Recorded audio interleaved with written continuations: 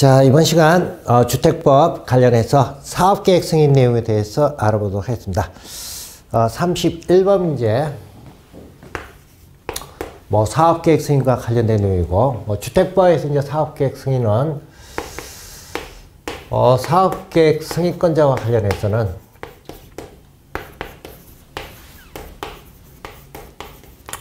어, 국토교통부 장관으로부터 사업계획 승인 받는 경우 하고 그 다음에 시도의사 그 다음 대도시시장 어, 사업계획 승인 받는 경우 하고 그 다음에 이제 특별시장 광역시장 특별자치시장 그리고 특별자치도지사 그리고 시장 어, 군수로부터 사업계획 승인 받는 경우 뭐 여기에 대한 내용입니다. 자 그래서 31번 문제 보시면 한국토지주택공사가 서울특별시 A구에서 대지면적 10만 제곱미터에 50호 한옥의 건설 사업 시행하는 경우 어, 누구로부터 사업계획 승인 받아야 하냐 그 내용인데 어, 일단 국토교통장관 사업계획 승인 받는 대상. 첫 번째는 어, 사업 주체가 국가 또는 어, 한국토지주택공사가 사업을 시행할 때 이때는 대지 면적에 이제 관계없이 국토교통장관으로부터 사업계획 승인 받도록 되어 있습니다.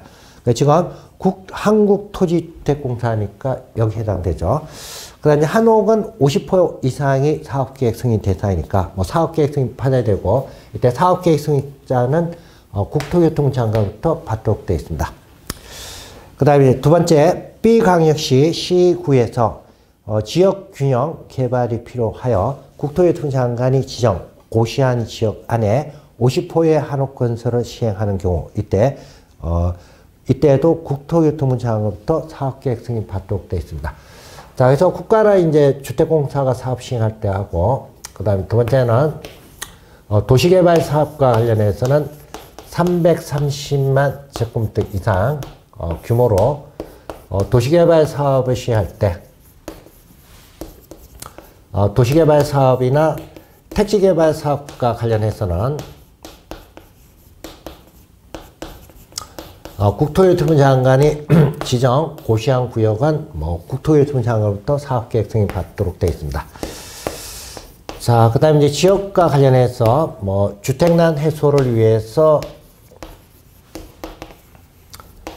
국토교통부 장관이 뭐 지정 고시한 구역에서 각각 뭐 주택을 건설할 때도 국토교통부 장관입니다. 그 다음에 이제 부동산 투자 회사입니다.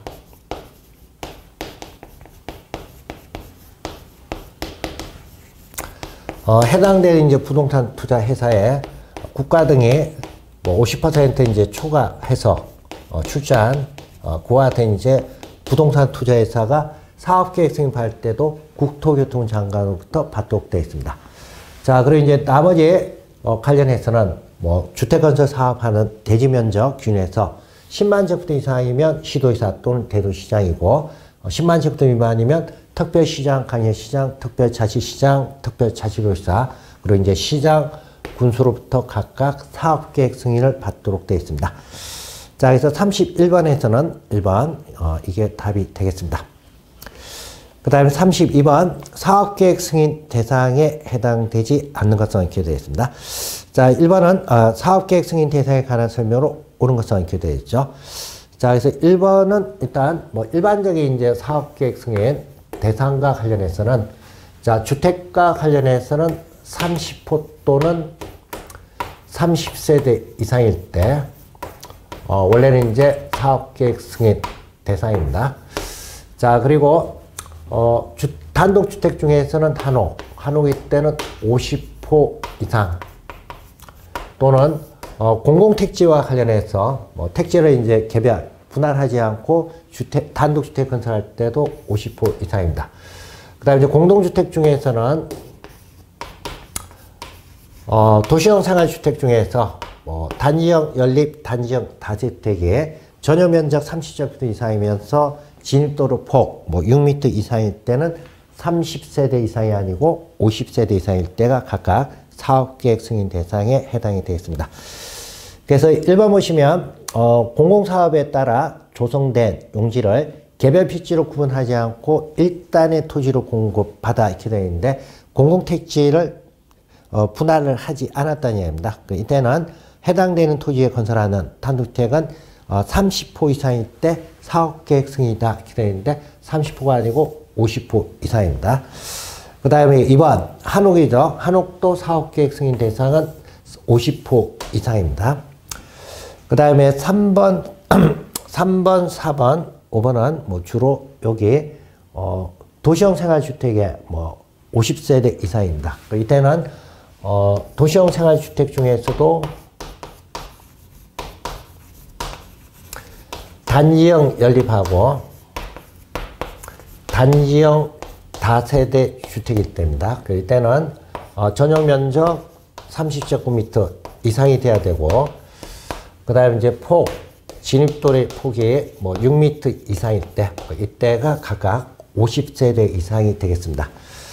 자, 그래서 그게 3번 도시형 생활주택의 원룸주택하고 어, 그 밖에 이제 한 세대인 주택을 하나의 건축물에 건축하고자 할 때, 이때는 50세대 이상일 때 사업계획 승인 대상이다 이렇게 되어 있는데 뭐 일반적으로는 30세대 이상입니다. 원룸주택은 30세대 이상이고 그 다음에 이제 4번 세대별 주거 전용 면적이 30제곱미터 이상이고 어, 주택단지 진입도의 폭이 6m 이상인 단지형 연립 또는 단지형 다주택은 50세대 이상일 때 사업계획 승인 대상입니다. 자, 그리고 이제 5번은 원룸주택은 뭐 30제곱미터 이상이고 폭 6m 이상 진입도로에 접해 있다 하더라도 30세대 이상이 사업계획 승인 대상입니다. 자, 그래서 32번에서는 뭐 4번이 답이 되겠습니다.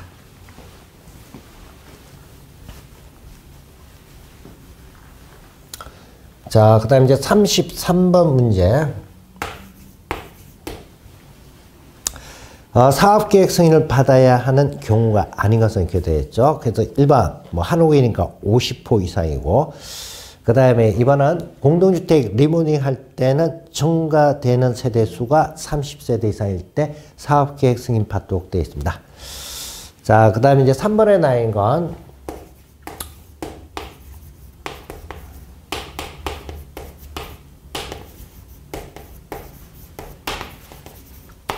어, 주상복합 건축물일 때는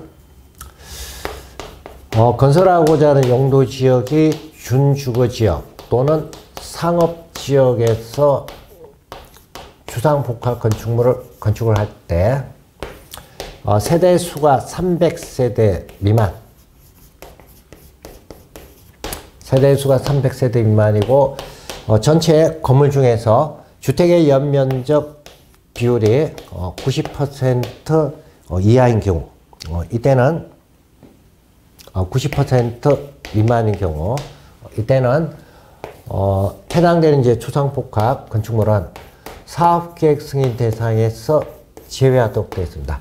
자, 그럼 이제 사업계획 승인 대상에 제외, 제외 된다는 건 이때는 어, 주택법에 의해서 건설되는 게 아니고 건축법에 의한 건축 허가를 받아서 각각 하도록 되어 있습니다.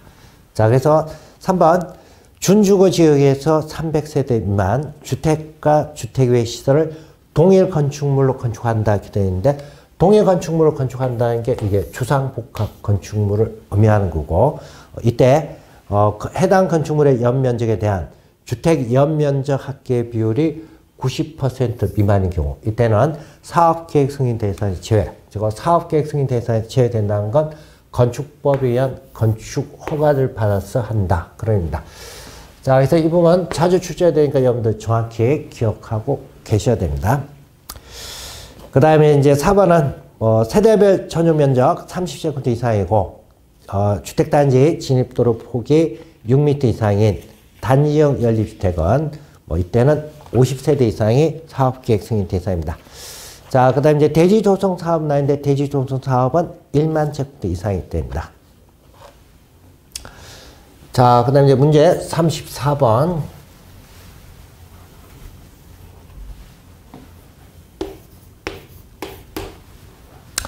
어, 주택건설 사업 시행에 관한 설명으로 오는 것.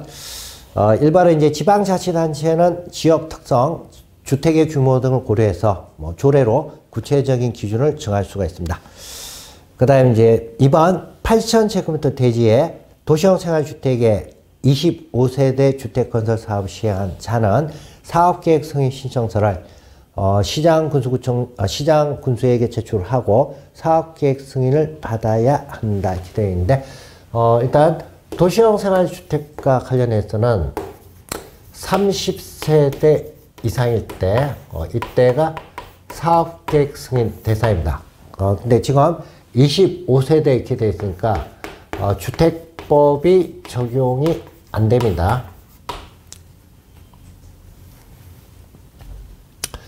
자, 그래서 만약 이제 세대수가 30세대 미만이면, 어, 이때는 어, 주택법에 의한 사업계획 승인 받는 게 아니고, 어, 건축법에 의한 어, 건축 허가를 받아서 하도록 되어 있습니다. 자, 그래서 2번, 2번은 이제 그 부분 틀렸고, 그 다음에 이제 3번은 주택건설 사업 계획의 승인을 받으려는 지방공사는 어, 주택건설 대지의 소유 권을 확보해야 한다 있는데 어, 사업 주체가 국가, 지방자치단체, 그 다음 주택공사, 그 다음 지방공사는 사업계획 승인 받을 당시에는 대지에 대한 소유권, 자, 이거 확보하지 않아도 어, 사업계획 승인을 받을 수가 있습니다. 사업계획 승인 받은 이후 수용 등을 하도록 되어 있습니다. 그래서 3번, 그 이제 틀렸습니다. 그 다음에 4번, 바닥 충격음 성능 등급을 인정받은 제품이 인정받은 내용과 다르게 판매 시공된 경우 인정기관에게 가태료 및 영업정지 처분을 할 수 있다 있는데 어, 바닥 충격음 성능 등급 인정과 관련해서 뭐 제재 등과 관련해서는 국토교통부 장관이 하도록 되어 있습니다. 자, 그래서 그게 뭐 시도의사 나인데 그러면 틀렸습니다. 그 다음에 5번 주택건설 사업의 경우 주택, 어, 건축물의 동별로 공사가 완료가 되었다 하더라도 전체 공사가 완료되지 않으면 임시 사용 승인을 받을 수 없다 이렇게 되어 있는데 어, 동별 공사가 완료가 되면 어, 동별로 해서 뭐 임시 사용 승인 받을 수가 있습니다.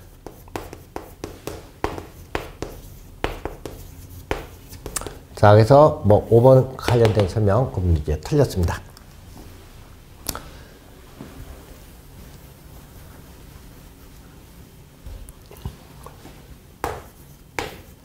자, 그 다음 35번 문제.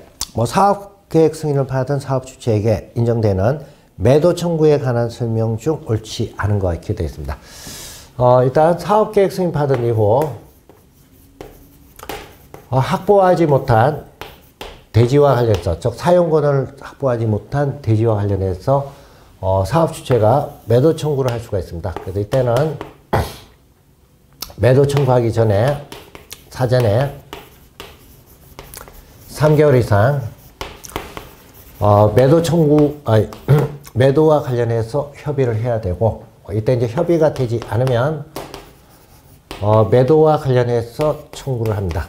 이때는 이제 시가에 의해서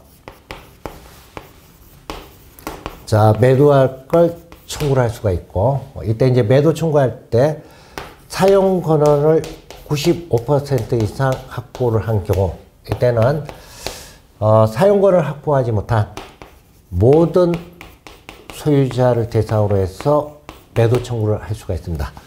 자, 그리고 사용권을 94%에서 80%, 자, 여기 사이에 확보한 경우에는, 어, 주단위 계획 구역 결정 고시를 기해서 10년 전부터 소유하고 있던 소유자, 어, 소유자를 제외한 나머지 확보하지 못한 어, 소유자에 대해서 각각 매도를 청구할 수가 있습니다. 자, 그래서 1번 사용권을 확보하지 못한 대지에 건축물이 있는 경우에는 건축물도 포함해서 같이 매도를 청구할 수가 있습니다. 그 다음 2번 사업 주체는 매도를 청구하기 전에 3개월 이상 매도 청구 대상이 되는 대지 소유자하고 협의를 해야 한다 이렇게 되어 있는데 자 지금 뭐 이와 관련된 내용입니다. 자, 그래서 매도 청구하기 전에 3개월 이상 매도에 대해서 협의를 해야 된다. 그 다음에 3번 사업 주체가 주택건설 대지 면적 중 90%에 대해서 사용권을 확보한 경우 사용권을 확보하지 못한 대지의 모든 소유자에게 매도 청구를 할 수 있다 있는데 자 모든 소유자에 대해서 매도 청구는 사용권을 확보 비율 95% 이상입니다. 자 그래서 3번 그건 이제 틀렸습니다. 그 다음에 4번은 사업 주체가 주택건설 대지 면적 중 80%죠. 80%에 대해서 사용권을 확보한 경우 이때는 사용권을 확보하지 못한 대지 소유자 중 지구단위 계획구역 결정 고시일 10년 이전 되어 있습니다. 그 10년 이전에 어, 대지 소유권을 취득해서 계속 보유하고 있는 자에 대해서는 매도 청구할 수 없다. 어, 그래서 그와 같은 소유자는 제외가 된다. 그런 의미가 되겠습니다. 그 다음에 5번 사업 주체가 리모델링 주택조합인 경우 이때는 리모델링 주택조합 즉 리모델링 결의에 찬성하지 아니한 자에 대해서는 매도를 청구할 수 있다 이렇게 되어 있습니다. 자 그래서 35번에서 이제 3번 답이 되어 있는데 어, 매도 청구는 자주 출제가 되는 부분이니까 좀 주의를 하셔야 되고 그래서 뭐 36번 문제도 뭐 매도 청구와 관련된 문제입니다. 어, 사업 주체에 인정되는 매도 청구권에 관한 설명으로 오는 것은 그 1번 뭐 사용권을 확보하지 못한 건축물이 있는 경우 그 건축물은 매도 청구 대상이 되지 않는다 이렇게 되어 있는데 뭐 대상 대지에 있는 건축물도 어, 포함해서 매도 청구를 하도록 되어 있습니다. 그 다음에 이번 사업 주체는 매도 청구일로부터 매도 청구일 전 어, 30, 60일부터 매도 청구 대상이 되는 대지 소유자와 협의를 진행해야 한다 이렇게 되어 있는데 어, 협의는 매도 청구하기 전 어, 3개월간 어, 3개월 이상 협의를 하도록 되어 있습니다. 자, 그 다음에 3번 사업 주체가 주택건설 대지 면적 중 90%에 대해서 확보한 경우 이때는 모든 소유자 있는데 95% 어, 이상 확보했을 때가 모든 소유자입니다. 그 다음에 4번, 4번은 좀 전에 했던 내용, 어, 여기 관련된 내용입니다. 어, 그리고 이제 5번도 리모델링의 결의에 찬성하지 아니한 자 있는데, 뭐 이때는 어, 매도 청구를 할 수 있습니다. 그래서 36번, 아, 36번에서는 4번, 4번이 답이 되겠습니다. 자, 그래서 뭐 35번하고 36번 어, 같이 이제 받으시면 되고, 그 다음에 37번 문제는 공구와 관련해서 어, 주택단지와 관련해서 공구, 어, 공구별로 분할을 하고자 한다. 주택 단지 공구 어, 분할하고자 하면 어, 전체 세대 수가 단지 전체 세대 수가 어, 600세대 이상이 될 때, 이때가 가까이 이제 공구를 분할할 수 있는 기준입니다. 자, 그래서 지금 37번에서는 답은 600세대가 어, 되겠습니다. 자, 그 다음 이제 38번 문제부터는 어, 공사 착수와 관련된 내용입니다.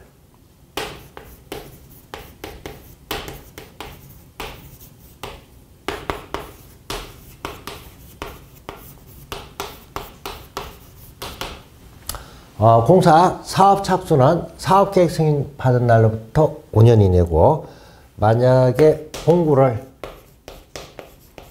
어, 분할해가지고 사업 시행하는 경우 이때는 최초 공구와 관련해서는 마찬가지로 사업계획 승인으로부터 5년 이내 자, 그 다음에 이제 최초 공구 외 공구는 어, 최초 공구의 착공 신고일로부터 2년 이내 가까이 이제 착수를 하도록 되어 있습니다.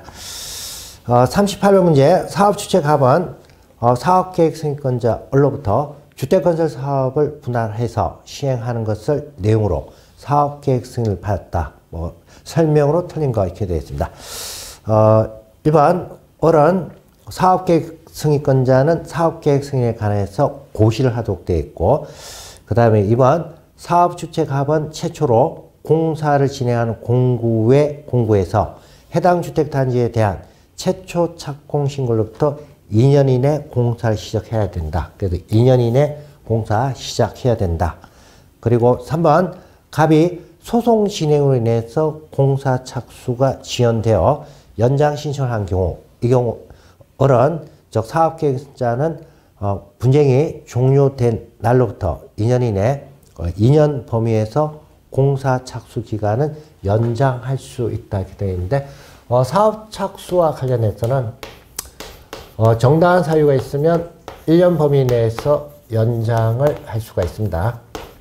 그리고 이때 이제 1년 연장은 해당되는 사유가 끝나게 되면 종료가 되게 되면 사유 종료일로부터 1년 범위에서 연장을 하도록 되어 있습니다. 그래서 지금 어, 3번 분쟁이 종료된 날부터 2년 범위에서 연장이 아니고 어, 1년 범위에서 연장입니다. 자, 그래서 3번 그럼 이제 틀렸습니다. 어, 그 다음에 이제 어, 해당되는 이제 연, 아, 1년 범위에서 연장할 수가 있고, 그 다음 뭐 사업계획 승인 받고 나서 5년 이내에 착수해야 되고, 만약 이제 착수하지 않으면, 어, 사업계획 승인과 관련해서 취소를 하도록 되어 있습니다.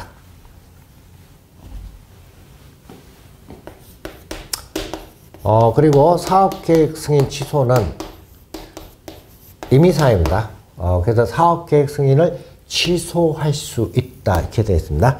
자, 근데 이제 4번 주택 분양 보증을 받지 않은 갑이, 즉 사업 주체가 파산해서 공사 완료가 불가능한 경우, 이때는 어른 사업계획 승인을 있다. 즉 사업계획 승인을 있다. 즉 임의사입니다.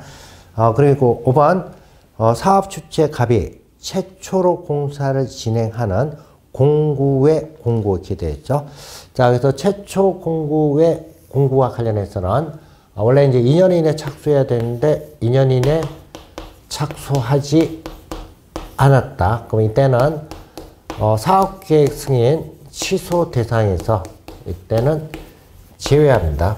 어, 이미 최초 공고는 이제 사업에 공사에 시작했으니까 이때는 착수하지 않았다 하더라도 어, 취소, 취소할 수는 없다. 이렇게 되어 있습니다. 이때는 어, 2년이 지났음에도 사업 주체가 공사를 시작하지 아니한 경우 어런 사업계획 승인을 취소할 수 없다. 즉 취소 대상에서 제외하도록 되어 있습니다.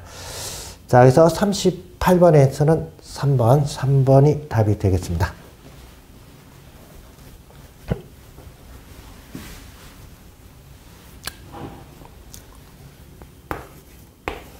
자, 그 다음에 이제 39번 문제, 어, 주택법상 임대주택의 건설과 관련된 내용입니다. 어, 임대주택 건설은 일단, 어, 30호 이상, 어, 주상복합으로 건설할 내용에 사업계획성에 포함되어 있거나 또는 어, 임대주택 건설 계획에 사업계획 승인에 포함되어 있는 경우 이때는 어, 사업계획 승인권자가 자 사업계획 승인을 할 때 용적률을 완화해서 적용을 해 줄 수가 있습니다. 자 그럼 이때 이제 완화된 용적률 중에서 일정 부분 어, 완화된 용적률의 30에서 60%에 해당하는 부분을 어, 해당되는 사업 주체가 임대주택으로 건설해서 공급을 하도록 되어 있습니다. 자, 그리고 이때 이제 임대주택을 공급을 받는 건 국토교통 장관, 그 다음에 시도의사, 그리고 주택공사, 지방공사가 각각 임대주택을 인수를 하도록 되어 있습니다. 자, 그리고 여기 이제 인수자 중에서 시 도 지사가 가장 뭐 우선적으로 임대주택을 인수를 할 수 있도록 되어 있습니다. 어, 1번 사업 주체가 임대주택의 건설 공급에 관한 사항을 포함한 어, 사업계획 승인 신청서를 제출하는 경우 사업계획 승인권자는 어, 용적률을 완화해서 적용할 수 있다. 이 내용이고 그 다음 2번 사업 주체는 임대주택을 국토교통장관, 시장구조청장, 주택공사, 지방공사에게 공급해야 한다 이렇게 되어 있는데 어, 공급과 관련해서는 시장구조청장은 공급받는 사람이 아니고 시도의사가 공급받습니다. 그리고 이때 시도의사가 가장 우선적으로 임대주택을 인수, 인수를 할 수가 있습니다. 자, 그래서 이번에 나 있는 내용, 뭐, 그분이 틀렸습니다. 그 다음에 3번은, 어, 공급되는 임대주택의 가격과 관련된 내용입니다. 자, 그래서, 어, 공급 가격은 임대주택법에 따라 임대주택 매각 시 적용되는 분양전환 가격 산정 기준에서 정한 건축비로 하고 이때 어, 해당되는 이제 부속 토지는 인수자에게 어, 기부 체납한 것으로 봅니다. 자, 그리고 이제 사업 주체는 사업계획 승인 신청하기 전에 미리 용적률 완화로 건설되는 임대주택의 규모, 즉 건설 규모를 어, 건설 규모에 대해서 인수자하고 협의해서 어, 사업계획 승인 신청서에 반영을 하도록 되어 있습니다. 자, 그리고 이제 공급되는 임대주택과 관련해서 뭐 사업 주체가 선정하는 겁니다. 어, 그래서 자기가 건설한 주택 중에서 임대주택 어, 선정을 하도록 되어 있는데 자, 이거는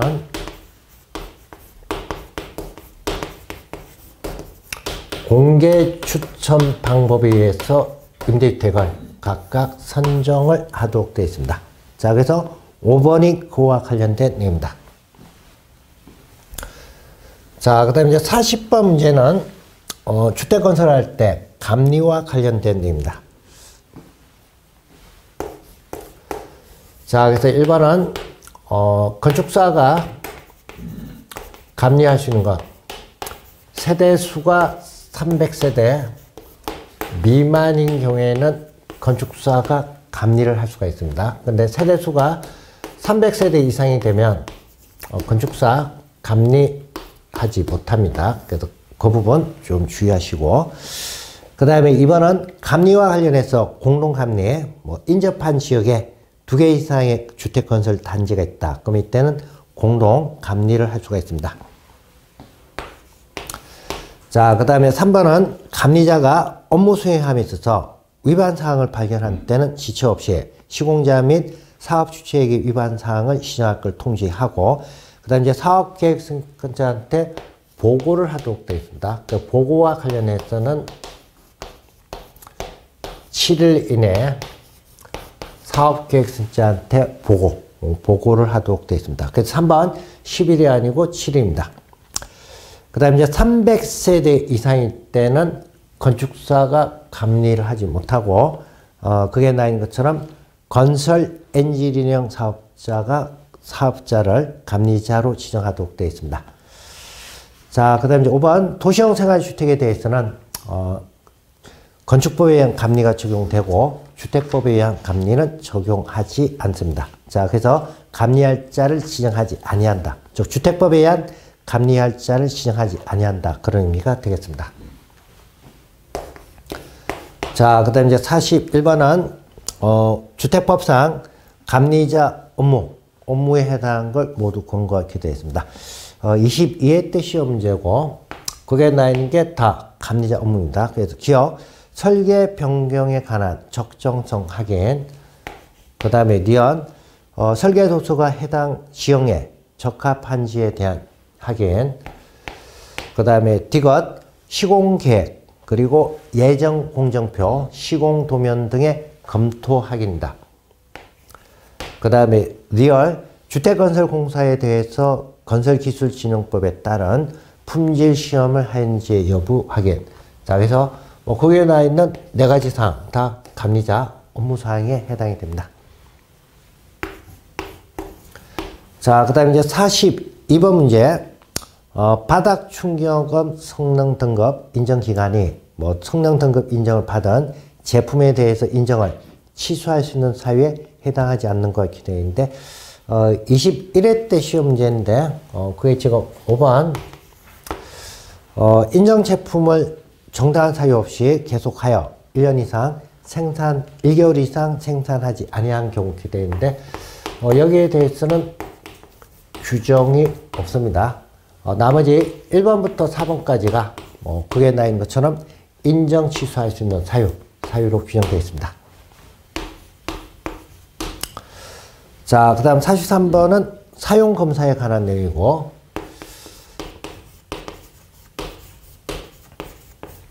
어, 24회 때 시험 문제입니다. 그래서 일반은 뭐 사용 검사에 대한 일반적인 사항, 뭐 사용 검사나 임시 사용 승인 받, 받은 후가 아니면 주택을 사용할 수 없다. 그 다음에 이번은 새로 신설된 내용입니다. 사업 주체는 사업 검사를 받기 전에 입주 예정자가 해당 주택을 방문해서 공사 상태를 미리 어, 점검할 수 있게 어, 하여야 한다 이렇게 되어 있습니다. 그래서 지금은 어, 사전 방문 점검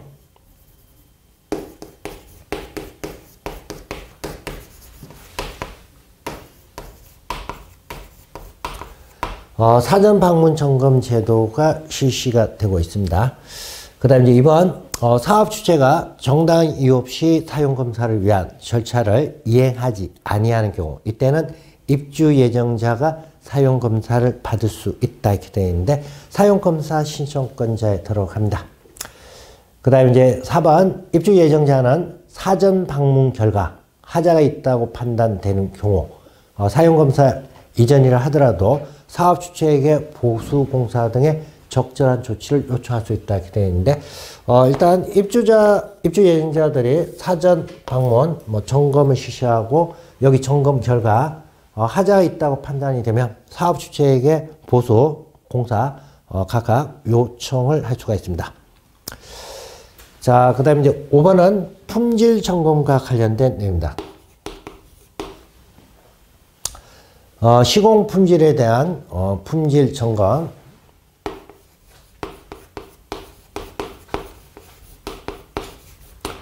자, 그래서 원래는 300세대 이상 공동주택과 관련해서는 자, 품질 점검 받도록 되어 있고 어, 이때 이제 300세대 이상 어, 공동주택과 관련해서 국가 지방자치단체 그 다음 주택공사 그리고 지방공사가 사업 주체인 경우 자 이때는 어, 품질 점검 대상에서 제외를 하도록 되어 있습니다. 자 그래서 지금 5번 보면 지방공사가 건설하는 300세대 이상 공동주택의 경우 공동주택 품질 점검단으로부터 시공 품질에 대한 점검 받아야 한다 어, 사업 주체가 여기 해당하게 되면 300세대 이상이라 하더라도 품질 점검 대상에서 제외, 제외하도록 되어 있습니다.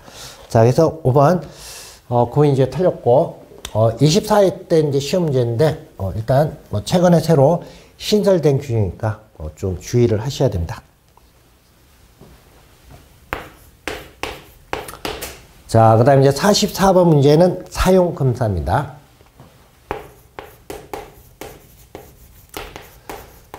어, 사용 검사권자는 자 원칙적인 사용 검사권자는 시장 군수구청장이 사용 검사권자고 그 다음 국토교통부 장관으로부터 사업계획 승인 받은 경우 이때는 사용 검사도 국토교통부 장관으로부터 각각 받도록 되어 있습니다.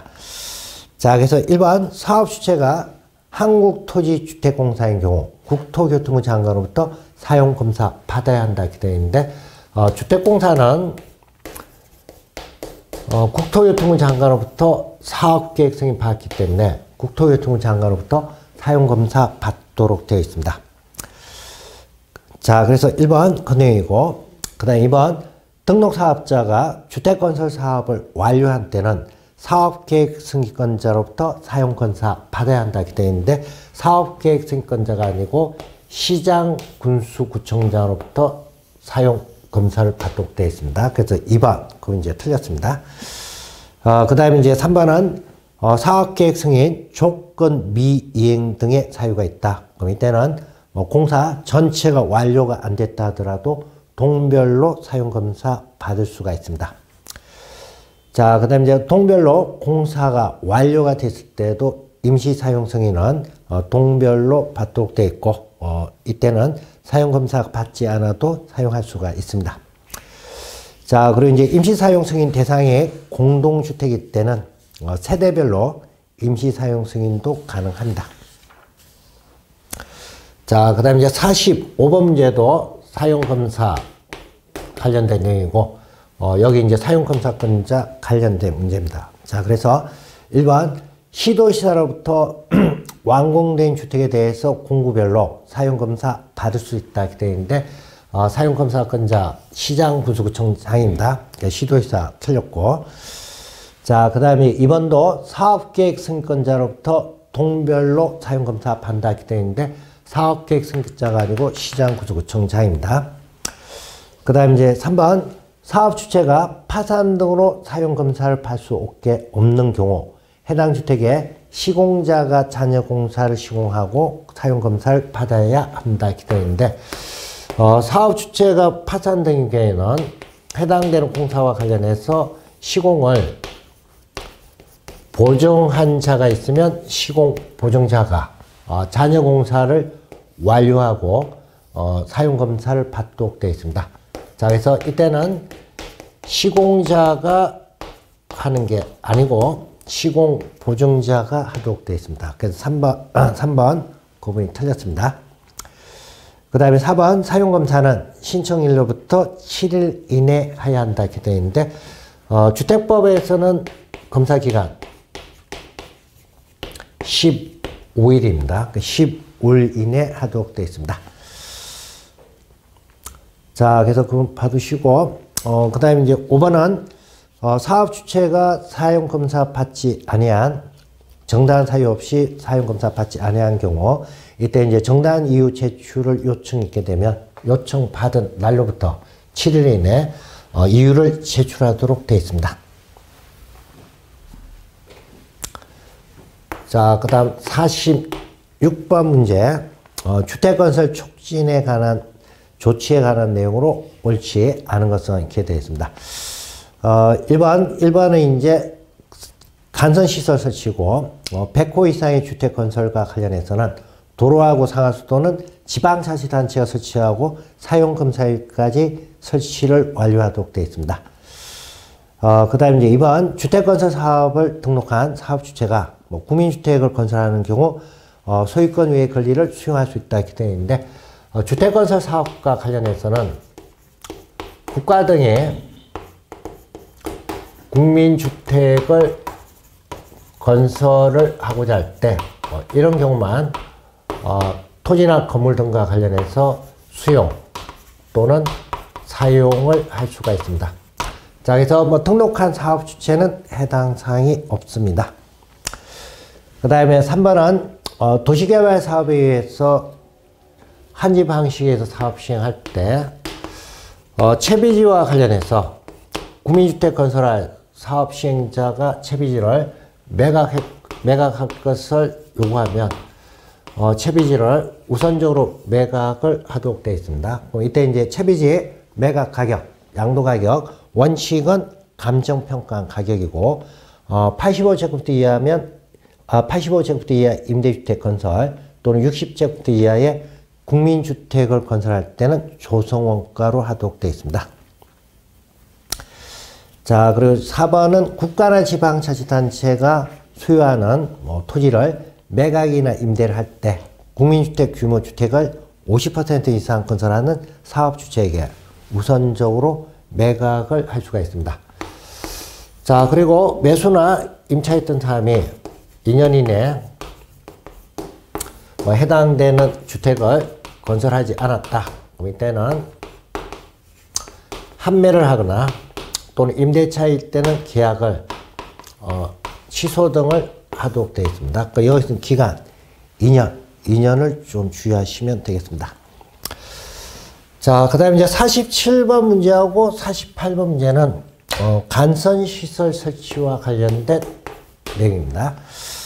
자, 그래서 47번 어, 간선시설 설치는 주택건설 100호 이상, 그 다음에 이제 대지조성 1만 1만 6천 500제곱대 이상 대지 조성 사업과 관련해서는 어, 간선 시설을 법에서 정하고 있는 설치 의무자가 각각 설치를 하도록 되어 있습니다. 자, 그래서 그게 1번하고 2번은 지금 규모가 여기 해당됩니다. 이때는 사업 주체가 건설하는 게 아니고 설치 의무자가 각각 하도록 되어 있습니다. 그래서 1번하고 2번 각각 틀린 부분, 이분이고, 그 다음에 3번은 간선시설 설치 의무자 중에서 도로하고 상하수도는 지방자치단체가 설치하도록 되어 있습니다. 그래서 국가가 설치하는 게 아니고 지방자치단체. 자, 그래서 3번. 이분 이제 틀렸죠. 그 다음에 이제 4번은 설치는 검사 완, 사용 검사일까지 완료를 하도록 되어 있습니다. 자, 그리고 5번은 설치 비용. 도로하고 상하수도는 지방자치단체가 설치하는데 지방자치단체가 부담합니다. 어, 근데 국가가 50% 범위 내에서 비용 지원을 할 수가 있습니다. 자, 그래서 5번은 이 부분이 틀렸습니다.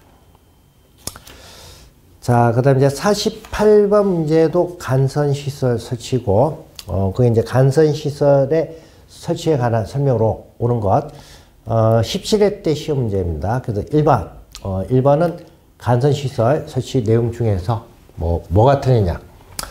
어, 단지 안에 기관시설 중에서 간선시설로 인정하는 건 가스하고 통신하고 지역 난방시설은 단지 안에 있는 기관시설도 간선시설로 봅니다. 그래서 그게 도로, 상하수도, 전기시설 라인인데 그 부분 틀렸습니다. 자, 그 다음에 이번에 나 있는 내용은 옳은 설명이고 그 다음에 이제 3번은 어, 지역 난방 시설의 설치입니다. 지역 난방 시설의 설치는 공급자가 설치 의무자입니다. 자, 그래서 지방자치단체가 아니고 공급자입니다. 그 다음에 이제 4번은 어, 지방자치단체가 설치하는 도로 상하수도의 설치 비용 전부를 국가가 보조할 수 있다 되어 있는데 국가가 보조한 것 범위 50% 범위 내에서 국가가 보조합니다. 그 다음에 5번 간선시설 설치와 관련해서는 국토교통부 장관 시 도지사가 사업계획 승인을 했을 때 어, 간선시설 설치 업무 자에게 각각 통지를 하도록 되어 있습니다. 그래서 5번은 그 부분이 이제 틀렸습니다. 자, 그 다음에 이제 49번 문제, 18회 때 시험 문제인데, 어, 공업화 주택의 인정에 관한 설명입니다. 자, 그래서 그게 나 있는 설명, 여러분들 다 오는 설명이니까 그 부분 각각 받으시고, 그 다음에 이제 48, 어, 49번 문제 중에서, 어, 그게 디귿, 공업화 주택의 인정이 있게 되면 인정의 유효기간입니다. 그 인정 유효기간은 법에서 5년으로 하도록 되어 있습니다. 그 이 부분 좀 주의하시면 되겠습니다. 자, 그래서 이번 시간 뭐 주택의 건설과 관련된 어, 문제와 관련해서 알아봤습니다. 자, 그래서 이번 시간 문제는 여기까지 해서 보도록 하겠습니다. 수고하셨습니다.